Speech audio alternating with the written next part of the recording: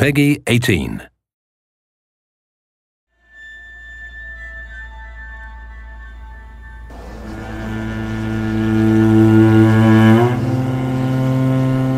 You know, before shipping out, we each have our own rituals.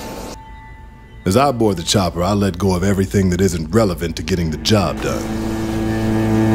My head is already thousands of miles away, playing and replaying every possible scenario, leaving nothing to chance. I remember after the first tour arriving back home, it was kinda weird. I mean, sure, I was happy to see everyone, especially my wife. But I just wanted to get back in it.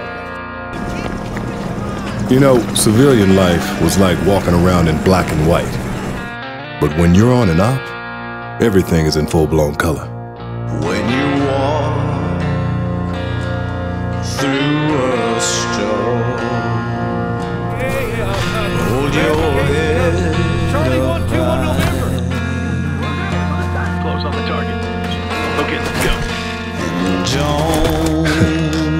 The one thing you can always count on in special forces is you will always be outnumbered and outgunned.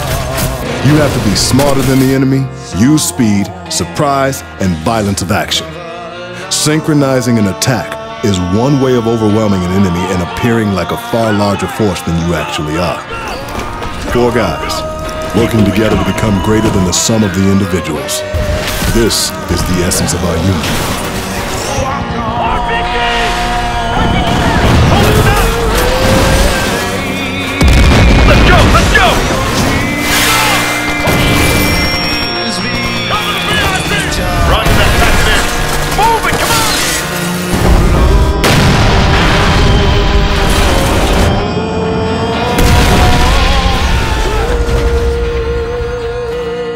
Best way to love my family is to focus on my boys and get my ass home in one piece.